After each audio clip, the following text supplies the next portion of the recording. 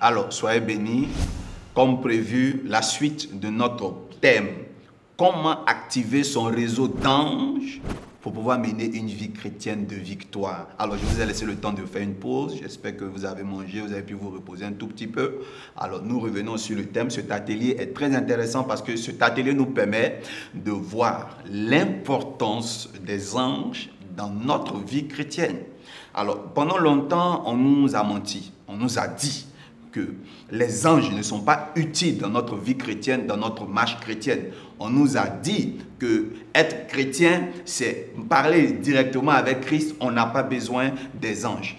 Christ à la croix est mort et son sacrifice a été suffisant pour que nous soyons sauvés. Bien-aimés, aujourd'hui nous sommes en train d'apprendre quelque chose de nouveau.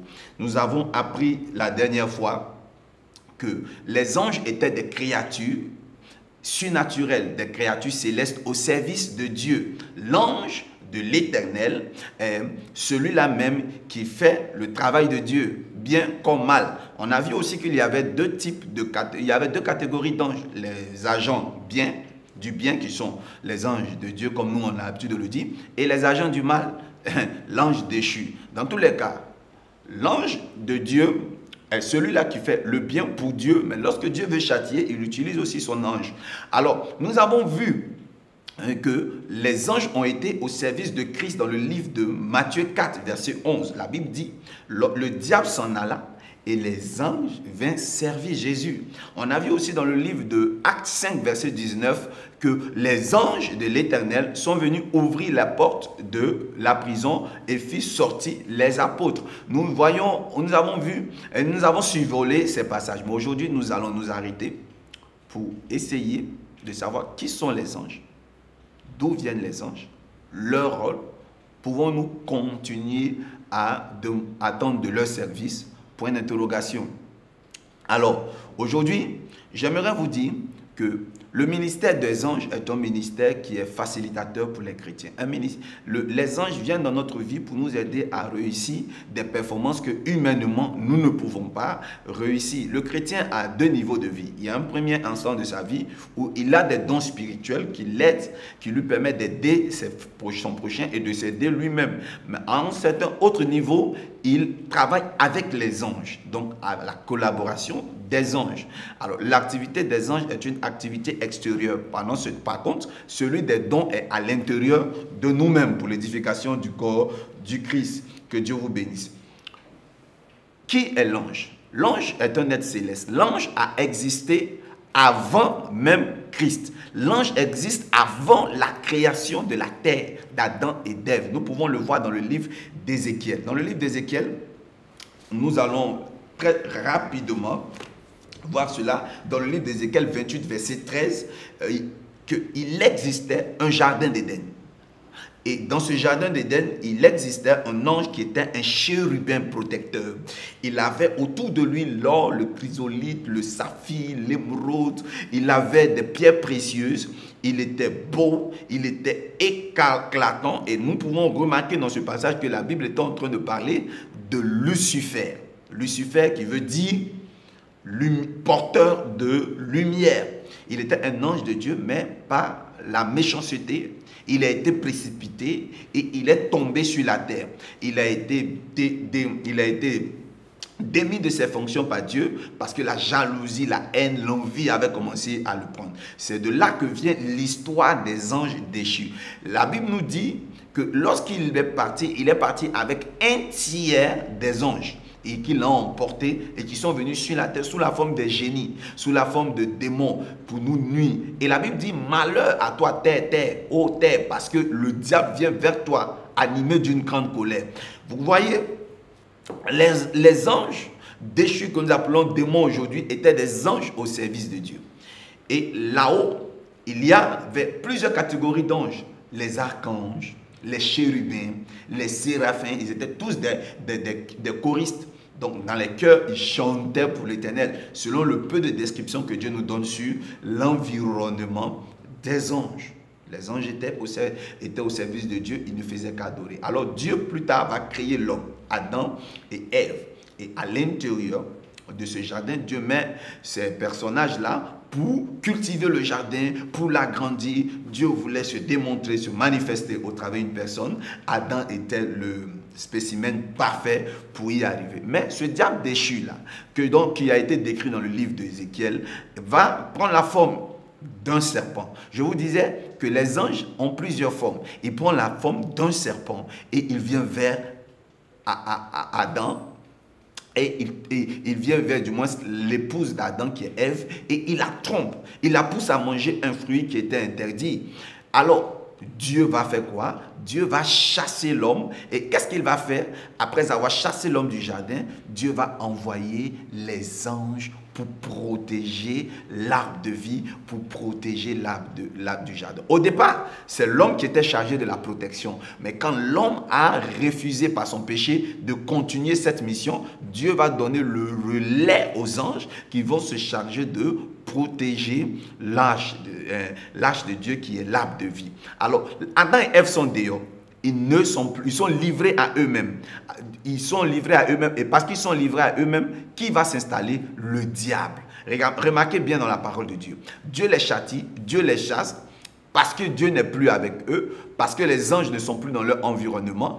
Il y a une autre catégorie d'anges qui prend place, c'est le diable. Je vous ai dit la dernière fois, au départ du moins de l'enseignement, dans la première étape, que quand le, diable n'est pas là, ce sont les anges. Quand les anges ne sont pas là, ce sont les agents du diable. C'est automatique. Et plus les agents du diable malmenaient Adam et sa descendance, Caïn et les autres, jusqu'à Genèse 6, où les anges sont descendus pour aller avec les fils de l'homme. Où ils sont descendus, les anges, et ils ont fécondé avec les hommes. La méchanceté s'est accrue et Dieu a décidé de détruire l'humanité. Dieu va renouveler son alliance au travers d'un homme qui s'appelle Noé. Bien aimé, Noé était celui qui avait été choisi pour renouveler cette première alliance que Adam avait. Il était comme un pseudo second Adam, celui qui était le nouvel être qui allait multiplier le monde avec une bonne sémence. Noé arrive, il met à son tour au monde des fils et parmi les fils, il y a un sémite qui s'aime, qui met au monde Abraham. Abraham est le père de la foi et donc le père des trois religions. Abraham pour la, va pour la première fois faire la rencontre de Dieu sous la forme angélique et les promesses de l'éternel vont s'accomplir. Je veux vous dire que Dieu va faire intervenir plusieurs fois les anges dans la parole de Dieu dans l'Ancien Testament où vous allez remarquer que les anges vont détruire Sodome et Gomorre où il y avait le neveu de ce dit euh, Abraham. Abraham qui va causer avec ses anges, il, il, a su les, identifier, discerner que c'était des anges, malgré qu'ils étaient sous la forme humaine. Ceux-ci vont et ils sont reçus par Noé. Noé les reçoit tellement bien et ils, évacuent Noé, et du moins ils évacuent Lot, désolé, Lot, et après le feu descend à Sodome et Gomorre. Nous allons voir encore dans d'autres livres parmi les descendants d'Abraham, tels que Jacob, qui dans un sommeil va voir les anges monter et descendre sur une échelle. Le même Jacob qui va combattre avec un homme fort qui était un ange. Nous allons voir cela dans myriades, myriades de tests dans la parole de Dieu. Les anges ont existé avant Jésus-Christ de Nazareth. Les anges ont toujours été au service de l'homme quand nous regardons dans la parole de Dieu. Les anges ont été au centre de beaucoup d'exorcements. Lorsque Dieu veut exaucer un homme, il passait toujours par les anges et ceci était le rôle des anges. Maintenant, ce que je voulais vous préciser dans l'enseignement, dans la, dans la deuxième partie, c'est que les anges ont des noms et le nom des anges sont fonction de leur rôle sur la terre. Alors, voilà ce qui fatigue les églises évangéliques. Parce qu'aujourd'hui, les chrétiens connaissent que deux anges, Michael et Gabriel. Non. Lorsque nous lisons la parole de Dieu, nous allons voir des termes comme myriade, myriade des anges. Les anges, il n'y en a pas un seul. Donc Dieu n'a pas que nommé deux anges. Dieu les a nommés un par un. De même qu'il a légué son pouvoir à l'homme pour que l'homme puisse nommer les êtres vivants tels que les animaux. Mais c'était aussi les êtres spirituels qui étaient nommés en fonction de leur rôle. Regardez même les Israélites. Ils donnaient le nom aux enfants en fonction de, des prophéties qui, sur eux, des prédictions ou du comportement. Le juif, il donne deux noms à Le nom de naissance, qui est comme une prophétie, et le nom qui correspond au caractère de l'enfant dès son enfance. On dit que le même quand Christ est venu au monde, il avait deux noms. Il s'appelait le Christ, mais il s'appelait Emmanuel. Hein? Emmanuel, Dieu avec nous, mais on l'appellera Christ. Il y a deux noms qu'on donne aux Juifs. Le premier nom, parce qu'on ne sait pas qu'est-ce qu'il va devenir. Donc l'enfant, le père donne un nom prophétique. Mais en, en regardant le caractère, on donne un second nom. C'est le cas de Jacob. Jacob on l'appelait usurpateur, mais il était vraiment usurpateur. Est-ce parce qu'il était usurpateur qu'on lui a donné le nom usurpateur ou c'est parce qu'on lui a donné le nom usurpateur qu'il est devenu voleur? Point d'interrogation. Je veux vous dire que l'homme a eu cette capacité depuis Genèse, Genèse 2, verset 19, de nommer les animaux. Donc, l'homme a la capacité de donner des noms aux, aux, anges parce que quelque part, les anges sont à nos services et le maître a le droit légal de donner des noms à tous ceux qui sont ses serviteurs.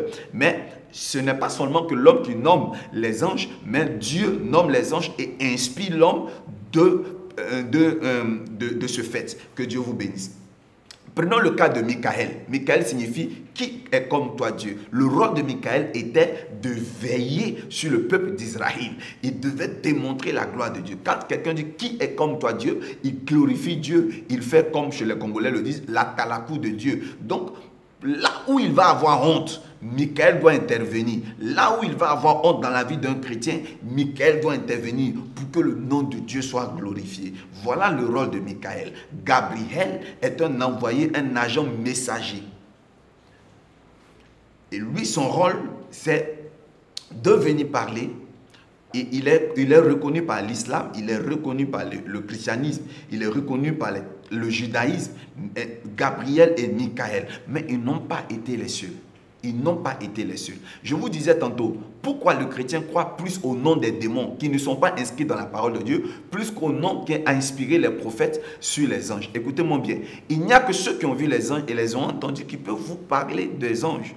De même, il n'y a que ceux qui ont vu les démons et qui en ont été inspirés de leur nom qui peuvent vous en parler le thème sirène des eaux. La dernière fois, on l'a vu. Dites-moi dans la Bible, de Genèse jusqu'à Apocalypse, où se trouve ce nom de sirène des eaux. Je dirais même le thème Trinité, par exemple, qui n'est pas dans la, dans la parole de Dieu. Le mot Bible, qui n'est pas dans la parole de Dieu. Ce sont des thèmes qui ont été inspirés par des hommes pour orienter les, les hommes vers des choses. Regardez dans le, le pays indien. Lorsqu'ils étaient sur l'île le, de, de l'Amérique, ils n'avaient jamais vu un homme blanc. Ils n'avaient jamais vu un homme noir. Et quand pour la première fois, ils ont vu un homme blanc aux cheveux blancs et aux yeux verts, ils ont dit, un homme pâle, cheveux de feu, yeux d'aigle. Voilà comment il donnait des surnoms. Donc moi, lorsque je rencontre un ange, en fonction du service qu'il me rend, je peux lui donner un nom. Et ceux qui ont donné des noms aux anges ont fini par écrire des livres et ils ont donné un nom, l'angéologie. Mais pourquoi est-ce que ça fait tant de mal, tant de polémiques? Si vous, théologiens, vous, pasteurs, enseignez, faites des délivrances, j'en ai entendu le démon qu'on appelle sirène des eaux, j'ai entendu l'esprit de séduction, j'ai entendu le démon vo du voleur, le démon de faux. Mais écoutez, en fonction de la manifestation, on peut donner des noms aux esprits. Et lorsque nous lisons le livre d'Apocalypse, dans le livre d'Apocalypse, bien aimé, la Bible dit que l'Éternel s'adressa aux sept églises dont Éphèse, Thyatire, l'église euh, de Laodicée, etc., etc. La Bible dit que Dieu parla à l'ange de l'église de Laodicée. Donc, en fonction de l'attribution et du mandat d'un ange, Dieu peut le nommer. Donc, Dieu le nomme de son mandat, l'ange de Laodicée. Je viens par là dire à une personne, quand je vous disais le rôle de l'ange, on peut le déterminer en fonction de, des hommes. Et je vous disais que j'allais vous aider à comprendre qui est votre ange gardien. Si à la tête de chaque église se trouve un ange. Si à la tête de chaque maison, quand on dit l'ange de la famille de temps, l'ange de la famille de... Parce que ici c'était l'ange de Tyr. Lorsque nous lisons le livre d'Ézéchiel, c'était l'ange de Tyr. Donc la nation Tyr a un ange, un homme fort qu'on appelle un trône. On va venir dessus plus tard. Ce qui veut dire que chaque être humain a un ange qui lui a été légué l'église de Laodicée avait son ange. Et quand Dieu s'adressait à nous, il s'adresse à notre ange, lequel ange nous retransfère le message sous plusieurs formes. La forme de rêve, la forme angélique, de, on peut entendre le message de Dieu de façon audible, mais il y a ce tête qui est la théophanie de Dieu qui nous parle. Voilà pourquoi l'enfant qui n'est pas chrétien, qu'il sache à partir d'aujourd'hui que ce n'est pas l'ange de l'éternel, mais c'est le, le diable qui lui parle. Donc l'ange est l'autre nom de l'esprit. Parce que l'ange est esprit. Est-ce que vous me comprenez? Alors, tout ce que je disais tout à l'heure, c'était la fondation pour vous mener à, à, ce but de vous parler de qui, comment localiser, qui est votre ange et comment pourra-t-il être à votre service? Dans la suite des temps, je vous développerai euh, séquence par séquence comment exploiter le service des anges pour obtenir de très bons résultats. Sur ce, je tiens à dire à ceux qui viennent de nous prendre que le thème d'aujourd'hui, c'est comment activer son réseau d'anges pour vivre, pour mener une vie chrétienne de victoire. Et nous avons survolé la vie, nous avons eu des fondations, nous avons eu la genèse, nous avons eu la signification, la définition des anges. Et au fur et à mesure, nous allons aller plus loin. Je tiens à préciser à mon frère qui m'écoute que euh, Facebook ne donne l'opportunité de 20 minutes de vidéo par, téléchargement. Voilà pourquoi de façon exprès, je vais étape par étape, step by step avec vous. J'espère que vous avez été richement bénis. Vous verrez qu'au bas de l'écran s'affichera la plupart des versets dont vous avez besoin pour, pour pouvoir mieux méditer sur ce que je dis. C'est la vérité. Nous avons besoin d'aller à une autre étape parce qu'on nous a beaucoup caché la vérité. Que Dieu vous bénisse. À très, très, très bientôt. Bye.